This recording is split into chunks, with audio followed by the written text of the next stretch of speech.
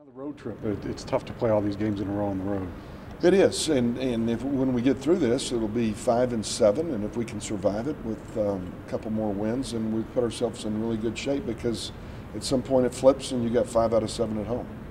It seems like the team's made progress, especially on the defensive end of the court. We're playing better, uh, I think, in all areas. Uh, certainly, we had to after Louisiana Tech loss, where we were uh, completely disrupted by them. Uh, hopefully, we learn from that. I think we're sharing the ball better. I think we're defending better. See Omega coming out here. He's no longer playing like a freshman, is he? Well, you know, I think when they've gone through uh, as many games as he's been through, that they, they should be considered sophomores. You, you should be able to trust them in different situations that you can't necessarily trust them in the first five or six games. Uh, you expect them to grow from, from their experiences, and uh, he, he has gotten better in a lot of ways. Talk to me about Western. Western's a team that has the best offensive rebounder in our league, a young man that we tried to recruit named Fant who's a senior, veteran, big bodied rebounder, defender, scorer. And they have a leading scorer in our league, another guy by the name of TJ Price, who, who we also tried to recruit. Uh, just flat wears it out from the three point line, uh, 48% from there, but can also post and put it on the floor. Um, transfer from Butler also plays, transfer from Texas Tech also starts. It's a veteran team, a team that can win our league, and uh, the record indicates that at 5 0. Did uh, did Vince limp off the court at the end of the game? Is he fine? He did. He he uh, he, he, he, tweaked uh, a knee. Uh, we went through the necessary precautions. We got uh, two different MRIs from two different doctors, uh, two opinions, and right now he has a sprain, and he's pain tolerant to play.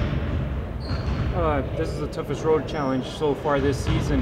How important was it winning those three games on the road against North Texas, Rice, and UTSA going into a tough game in Bowling Green? Well, you, you have to learn how to win on the road, something we didn't do in non-conference play, losing to Colorado State and Mexico State. So uh, certainly it's probably helped us confidence-wise. Uh, uh, this game will be more like the Colorado State and New Mexico State games in terms of talent, uh, ability, crowd. Um, and, and, experience that we're playing against. So certainly the biggest challenge that we played on the road since pre-conference. UTEP winning 12 out of their last 13 road games. How big of a, is that for the team going into this match? Yeah, you know, well, uh, Earvin and, and Omega had not experienced that, so that's where it's important. Our older guys had. And I think it's important for those guys to know that we can win on the road if we play smart, if we don't foul, if we don't turn it over, and defend at a high level. Talk a little bit more about Earvin because I think he's really picked it up defensively. Well, he's played well on the road for us. He's had a couple games of 22 and 23 in his last three games on the road, and defensively, uh, we gave him the nod just because uh, we were scratching our head who was going to be the secondary defender after Julian and, and go get uh, the second best player out of the game. He's done that the last three games he's played in, and we're going to continue to throw him out there as a result.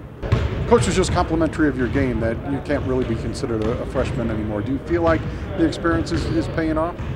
Uh, you could say that. I mean, I played a lot of games. I played against a lot of people, so I can see what I'm, I'm going up against, and I just got to go out there and get better and just continue to play my game and help uh, UTEP do what I can do so we can win the game. It seems like you're getting more and more responsibilities as, as the season goes along. Uh, yes, uh, uh, I guess that just comes with uh, being a point guard, really. That's all I can say. Talk about playing on the road, different atmosphere and different challenge for the team. Uh, yeah, when you go away, it's just like the other crowd, they don't like you. So, like, you just, I mean, it's not like you're playing against the crowd, but like, it like just brings a different type of intensity because you hear all the stuff that they're saying. So, like, it's not like people cheering for you, it's like you're going against them. Do you like that? Yes, it, it gets me going. After winning the first three road conference games this season, how much is the confidence on the team going, gone up on the road? From zero to 100. Uh, pretty much. Like we all got a lot of more confidence. Like everybody feeling more comfortable. We were, we were coming better as a team, getting in here, practice every day, and we just go get ready. Being the newcomer with most more starts this far this season, how, how what does that mean to you? Uh, not much. I'm just trying to help. I'm trying to help them win sometimes new guys come in and don't realize how important it is to play defense. I, I think your game has really improved defensively. Uh, yeah, that's uh, that's one thing that I always pride my game on uh, taking defensively personal uh, because I mean playing basketball, everybody can put the ball in the, in the hole. So if you can stop your guy and then put it in the hole, then that makes I think that makes you a better player. Did it surprise you at all how much Tim, Coach Floyd, emphasizes uh, the defensive end of the court and how much more playing time you get when you can shut down your man?